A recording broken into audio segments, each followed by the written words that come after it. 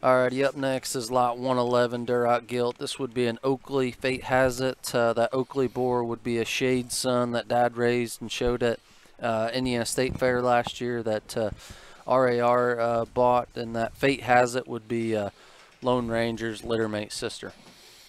Yeah, Kyle, and uh, here's here's a red gilt that has some real extremeness to her. You know, you start with that real deep dark color, um, and then you get her on the profile. Look at the stoutness to her head and the slickness of her and stoutness of her jawline. Um, and this gilt is really bulky. Uh, I mean, wide, big, big, uh, big backed, big ribbed, um, and still sound and functional.